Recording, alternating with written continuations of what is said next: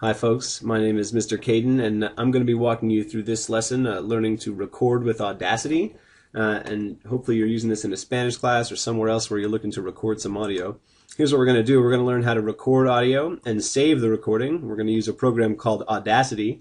And then we're going to actually hand in that, uh, that assignment when you're done to the Spanish uh, department Dropbox.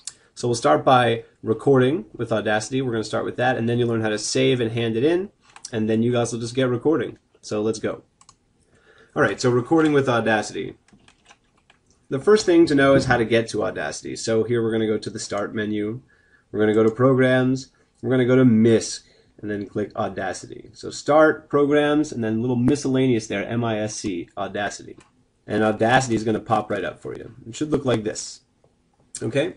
Now to record something with Audacity, it's pretty simple. All you have to do is press the big red button. And there we go, we're recording something, and you can tell that we're recording something because you can see the sound waves appearing on the screen. And if you want to play it back, you can hit this green triangle to play it back. And you should hear yourself. Okay? Uh, if you are too quiet or if these are too small, then you should think about turning up your microphone. You can control the volume of the microphone from here. Okay? Uh, and if you really don't like what you recorded, you play it back and you're like, man, I sound terrible. Do I always sound like that? Then you can just click this X right here and goodbye. So again, you just press the red button and you record your stuff. Afterwards, you can hit stop and that will absolutely stop the recording. If you hit pause, you can't do some other things. So make sure you just hit stop. And then uh, listen again to make sure it's good and then when you're all done, you just have to save it. But if you don't like it, you can always click that X. Okay, so what are we doing next? We're learning how to save and handing it in. So that's how you record. You open up Audacity by going to the Start menu, Programs, MISC, Audacity, and you use that big red button to record and press the stop button when you're done. And now we're going to learn how to save and hand it in, and then you guys will get started. So, to save it, uh, a lot of people have the instinct to go to File and then hit Save Project or Save Project As, but that's a bad idea uh, because that's actually kind of like saving the thing. We don't want to save it. We want to export it as a WAV file, which is like a regular sound file. You could put it on your iPod if you wanted. These projects for Audacity are like more complicated types of file. So we can click Export as WAV, W-A-V, and then we don't want to put this in our My Documents folder because it's too big. So let's just save it on the desktop. And this one is by Mr. Kadin.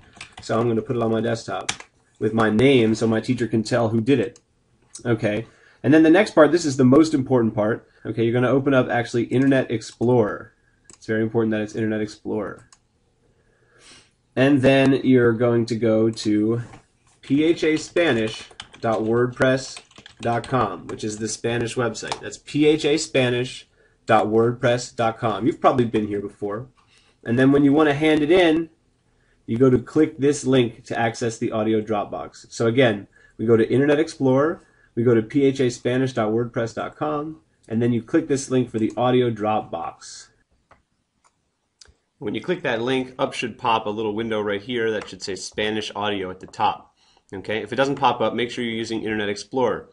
Okay, great. Now we can hand in our assignments by simply dragging and dropping the file that we made before, which is on our desktop, and placing it into the place where it's supposed to go. So let's say I'm in Ms. Nolet's class, I can double click there, and I can simply drag the Mr. Kadin file right in there, and I just handed it in.